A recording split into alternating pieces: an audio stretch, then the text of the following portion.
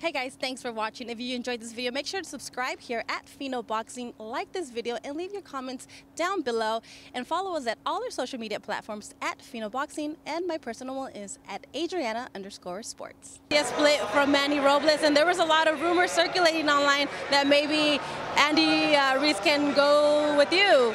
That has he made a call? Has he has he reached out about maybe training with you? Not at all, man. You know, there was there was a few rumors and a few uh, people saying that he had already met with me or something, but that, that, those are all rumors. I um, I think I've met him, you know, when he was fighting for top rank, just like a high buy uh, situation. Never really met him personally. Never never really sat down with him. Uh, you know, it's, it's unfortunate. You know, I think Manny Robles did a great job with him. He uh, he made him a world champion. They both made history.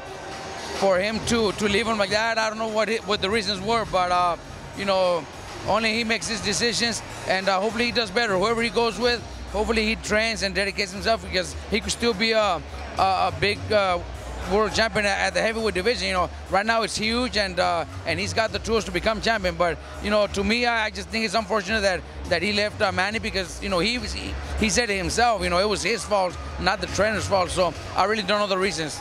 If he were to contact you to train, was that is that a is that something that would interest you? Well, look, uh, right now we're very busy, you know, but uh, we we do have uh, we do have uh, the time. I think I do, but uh, you know, I don't. I'm not. Uh, I'm not asking for him to come talk to me. You know, from what I'm hearing is he, he's probably. I think he's already talking to Teddy Atlas or something.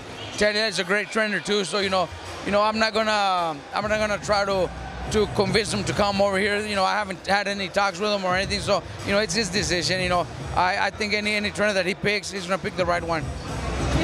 Hey guys, thanks for watching. If you enjoyed this video, make sure to subscribe here at Fino Boxing, like this video, and leave your comments down below.